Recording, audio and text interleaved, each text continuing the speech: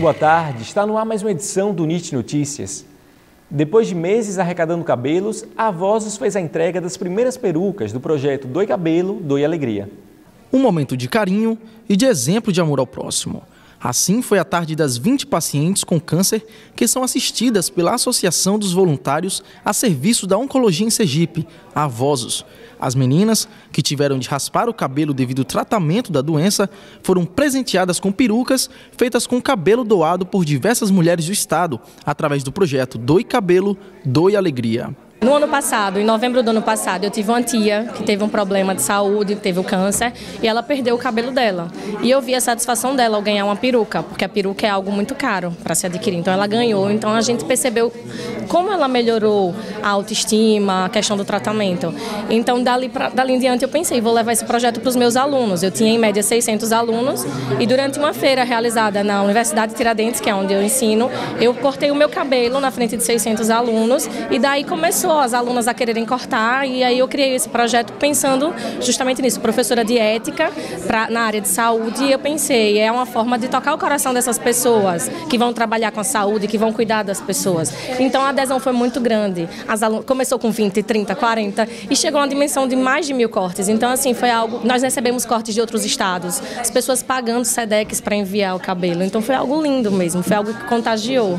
Além da entrega das perucas, a tarde foi um momento de alegria e de agradecer a bondade das pessoas que abraçaram a causa. A sensação hoje é o dever cumprido, é a transparência do que é nos confiado, é mostrando à comunidade a resposta que eles deram ao projeto Doe Cabelo, Doe Alegria, mostrando a eles que nós confeccionamos as perucas e estamos realmente distribuindo. A gente sabe que levar um projeto adiante não é fácil então, assim, hoje eu estou muito feliz, muito realizada, porque foi um sonho meu, mas que eu, eu contei com muitas pessoas para realizar.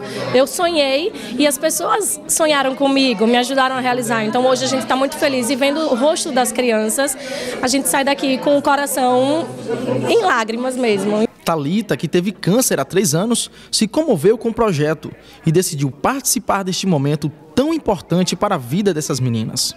A parte final do projeto que a gente estava esperando, poder dar as perucas, e é uma emoção tremenda para quem, principalmente como eu, passou pelo tratamento e agora estou dando, é, participei do projeto e é uma felicidade imensa. E a gente é recompensado por carinhos, abraços enfim, é muito gratificante. O projeto contou ainda com a participação de parceiros que ajudaram no corte e na confecção das perucas. Muitas pessoas me ligaram, entendeu? E aí eu cheguei até aqui e resolvi fazer. Me sinto muito alegre, né? Gratificante, né? Porque assim, é um trabalho para ajudar as crianças, né? E assim, é uma coisa estética, porque ficar sem cabelo, né? É uma coisa muito desagradável. E como eu confecciono essas perucas, e aí resolvi fazer parte, né? É, aderir ao processo e estou aí. Além das perucas, as meninas passaram por uma sessão de beleza, com direito a maquiagem completa. Amanda ficou tão entusiasmada com o novo visual que aproveitou para tirar o primeiro selfie com cabelo novo para postar nas redes sociais. Com a entrega das perucas, as meninas pacientes da Vozos ganham, além de um pouco mais de autoestima, muito carinho e amor das pessoas que abraçaram a causa. É, eu tenho agradeço, agradeço muito porque realmente eu sei que muitas pessoas eram pegadas ao cabelo e fizeram isso de coração mesmo, só para poder ajudar pessoas a estar vendo que isso foi realmente importante para nós.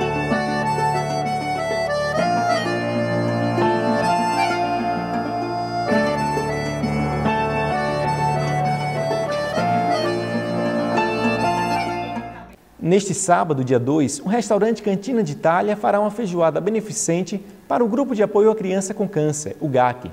Toda a renda será revertida para a instituição.